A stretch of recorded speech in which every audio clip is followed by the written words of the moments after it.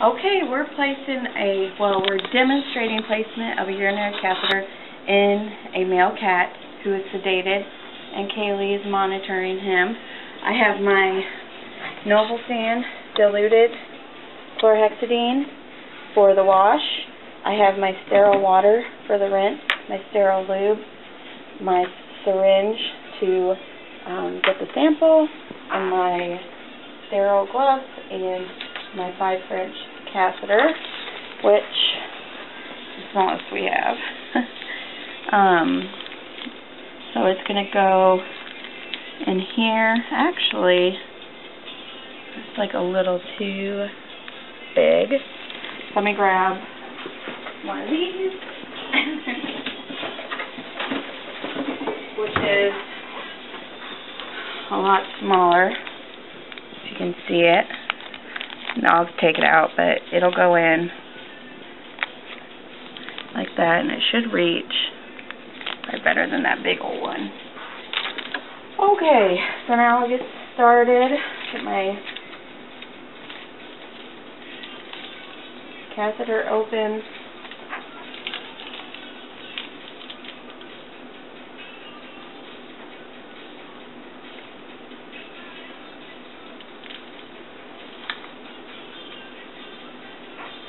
And then I'm going to open my sterile lube.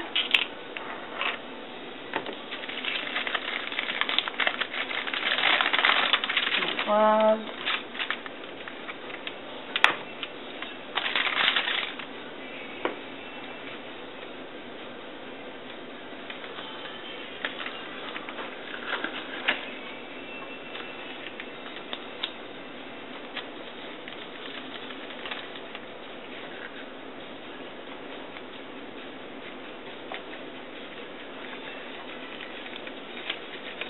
Get my gloves on here.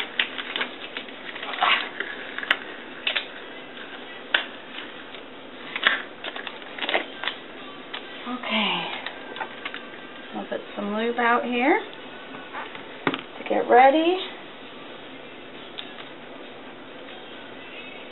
Mm-hmm. Okay. I'll get my wash nearby, my rinse. And so what I would do is I would put pressure on here to make it come out.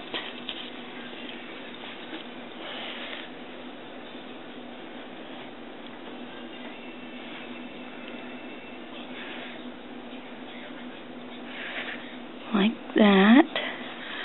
And then I would rinse it with the wash um, then rinse it with the sterile saline, and then I would lube my catheter, and then I would go right in there and place that up there, so demonstration purposes. Um, get my syringe. Oh, wrong syringe. I had that for the other one. Stick it on there and then I would get rid of the first 5 cc's and then get my sample from the rest.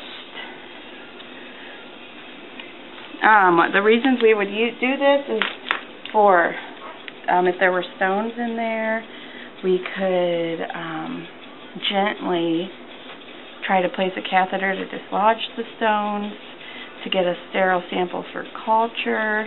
Um, the complications would be trauma um, to the area and introducing infection. And